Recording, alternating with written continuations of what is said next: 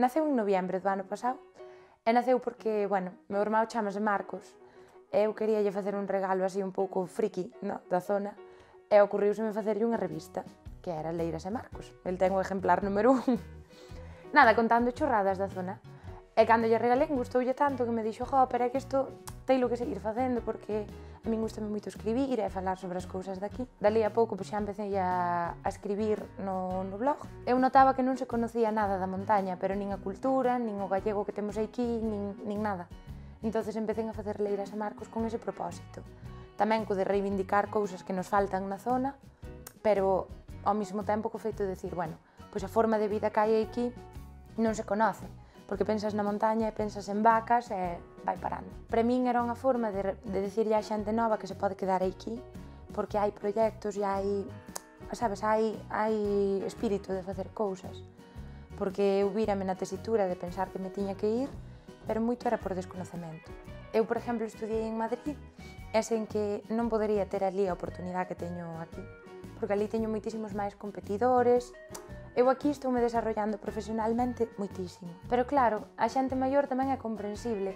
Toda a súa vida viviu como nunha situación máis precaria, por así decirlo. entonces esa xente educou os seus fillos desde o punto de vista de teis que marchar para ter unha vida mellor, para ter un traballo mellor, porque que vas a facer aquí?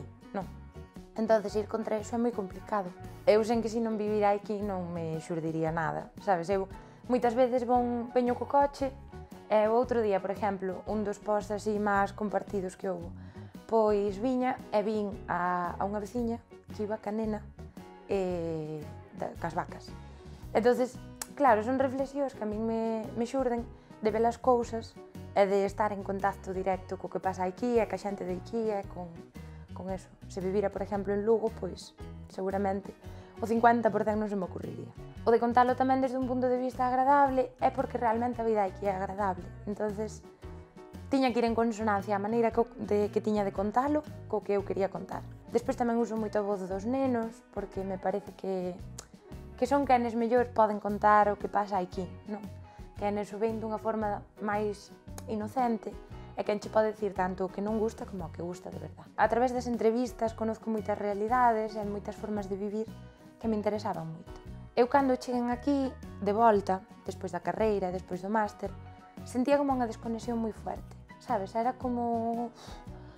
como que non compartía ca xente que me rodeaba, vale?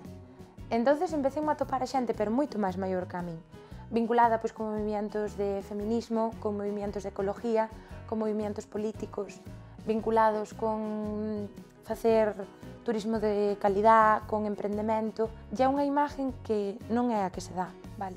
Porque cando tú pensas no rural, ao mellor pensas en xente desinformada, en xente que se quedou en fai mitísimos anos e frenada.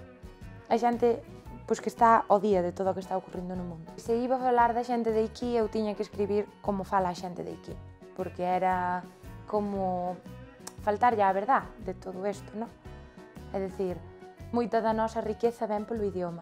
Eu era o que máis botaba de menos cando non podía falar. Falar como eu me criara e como eu pensaba. O meu filtro máis bon para saber se o que publico engancha ou non engancha a xente maior é miña abuela. Suelo lle ler o que escribo. Entonces, según o que ela me dice, digo, no, isto non funciona ou isto vai gustar moito a xente. Si que é verdad, pois que a xente desa edad non ten contacto con internet, nin cas redes, nin con nada que se lle pareza pero os fillos e os netos si que teñen. A, a historia que che contén antes da señora que iba caneta cas vacas, esa muller non ten Facebook e na súa vida vai, vai, vai entrar en Facebook, porque non o vei necesario. Pero que pasa? Que vino outro día, pois non sei onde estábamos as dúas, e dixeme, oye, que xe, a quen publicache tú outro día neso de internet, tal? E eu, ostras, Julia, pois publiquen da ti, como o sabes? Non, porque mo levo o fillo. Os fillos e os netos moitas veces leenlles cousas ou enséñanlles porque como son fotos de Iquí e xente de Iquí, pois acceden a través da xente da súa casa.